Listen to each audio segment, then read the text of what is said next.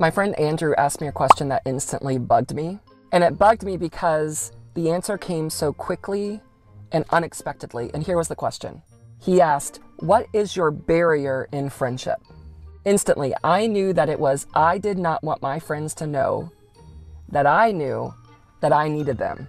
I know it's a little bit complicated. Basically, I didn't want to admit to them that I needed them because that would put me in a really vulnerable position. I don't think my friends are evil, but I didn't want them to know that they have that power over me. And this stuck with me for days. Usually, when that happens, I tend to think maybe God's trying to say something to me. So I knew I had to do something about it. In my next short, I'll tell you what that is.